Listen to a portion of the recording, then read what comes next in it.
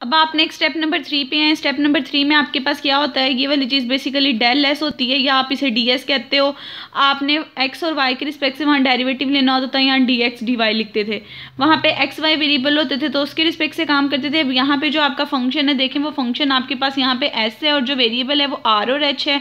तो जब आप इसकी इक्वेशन लिखोगे तो आर और एच जो एक्स और वाई की जगह पर आ जाएँगे और ये इक्वेशन प्रीवियस वही मेथड वाली बन जाएगी। D S equal to partial S over partial R यानी पहले आर के रिस्पेक्ट से partial derivative into D R H के रिस्पेक्ट से partial derivative into D H अब आप देखें वहाँ पे भी यही काम करने के बाद आप आ, उसका फ़र्स्ट टर्म के रिस्पेक्ट से डेरिवेटिव निकालते थे सेकंड के रिस्पेक्ट से डेरिवेटिव निकालते थे और इन टर्म्स की वैल्यू निकालते थे। यहाँ पे भी हम यही काम करेंगे आपको गिवन फ़ंक्शन दिया हुआ है S equals to pi R R square plus H की पावर वन बाय टू आप उसका पहले partial derivative with respect to R लोगे फिर partial derivative with respect to H लोगे। आपने जब partial derivative with respect to R लेना है तो एच आपके पास कांस्टेंट के तौर पे ट्रीट करेगा। ये कांस्टेंट है, ये एज इट इज़ देखिए, यहाँ दो फ़ंक्शंस की प्रोडक्ट हो रही है तो प्रोडक्ट रूल लगेगा क्योंकि यहाँ पे भी आर आ रहा है, यहाँ पे भी आर आ रहा है। इसका मतलब ये दो फ़ंक्शन की प्रोडक्ट की बात हो रही है। प्रोडक्ट रूल लगाओगे फ़र्स्ट फ़ंक्शन का derivative second as it is plus first as it is second का डेरिवेटिव इसके डेरिवेटिव में पावर नीचे पावर में से एक कम, और अंदर वाली चीज़ का डेरिवेटिव लेना है। आर के रिस्पेक्ट से आर स्केयर का डेरिवेटिव टू आर आ जाएगा, और इसका डेरिवेटिव ज़ीरो होगा।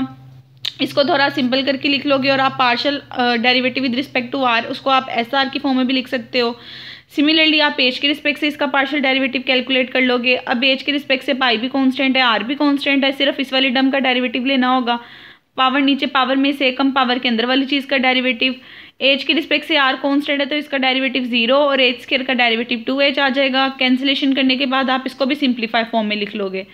अब आपने इसकी भी वैल्यू फाइंड आउट कर ली है, इस डेरिवेटिव की भी वैल्यू फाइंड आउट कर ली है। अब आपको डी आर और डी एच की वैल्यू चाहिए, जिस तरह हम प्रीवियस क्वेश्चन में कल कर रहे थे। अब देखें, आपको उन्होंने कहा है कि जो आर है वो कैलकुलेट कर रहे हो आप लोग सिक्स और उसके अंदर एक्यूरेसी कितनी आ रही है? वन परसेंट आ रही है।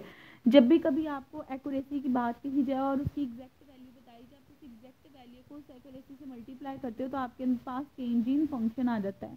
तो अब देखिए यहाँ पे एक्यूरेसी की वैल्यू बताई हुई थी सिक्स है। आर की वैल्यू बताई हुई थी सिक्स है। कितने परसेंट एक्यूरेसी थी? वन परसेंट थी। आप सिक्स को वन परसेंट से मल्टीप्लाई करो, वो सिक्स परसेंट में चेंज हो जाएगा और सॉल्व करने के बाद आपका इस, आपके पास इसका आंसर आ जाएगा ज़ीरो पॉइंट ज़ीरो सिक्स इसी तरह आपको डी एच की यानी डेल एच की वैल्यू चाहिए। उसके लिए भी आपको उन्होंने क्वेश्चन में कहा हुआ था कि ये आपके पास एट इसकी वैल्यू है और इसके अंदर जो एक्यूरेसी है ज़ीरो पॉइंट टू फाइव है तो आप एट को zero point two five percent से मल्टीप्लाई करोगे और डी एच की